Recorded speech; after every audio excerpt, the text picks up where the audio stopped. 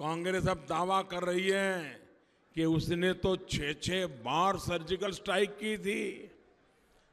भाई, ये कैसी स्ट्राइक थी जिसके बारे में न आतंकियों को पता चला, न आतंकियों पर हमला करने वालों को पता चला, न ही पाकिस्तान को पता चला और न ही हिंदुस्तान में किसी को पता चला।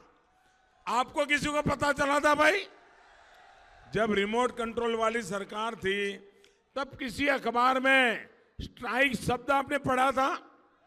स्ट्राइक शब्द सुना था? लेकिन अब शुरू में जब एयर सर्जिकल स्ट्राइक हुआ तो इन ऐसा कुछ होता ही नहीं है। ये तो सेना रोज करती है। नकार दिया, लेकिन जनता को मोदी पे भरोसा था। जनता मेरे साथ खड़ी हो गई। पहले उन्होंने मज़ाक उड़ाया। पहले मज़ाक उड़ाया। जब देखा कि जनता मोदी के साथ खड़ी है तो विरोध करना शुरू किया। जैसा उन्होंने विरोध बढ़ाया तो जनता ने और प्रेम बढ़ा दिया। मोदी मोदी करने लग गए। तो उनको और परेशानी हुई।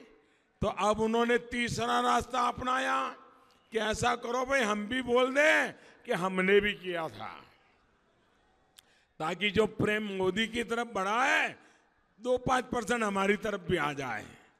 इसलिए पहले उपेक्षा, बाद में विरोध, और अब हमने भी किया था। मी टू मी टू जब कागज़ पर ही करनी हो जब वीडियो गेम में ही स्ट्राइक करनी हो तो तीन हो या छह हो, बीस हो या पच्चीस हो, ये झूठे लोगों को क्या फ़र्क पड़ता है जी?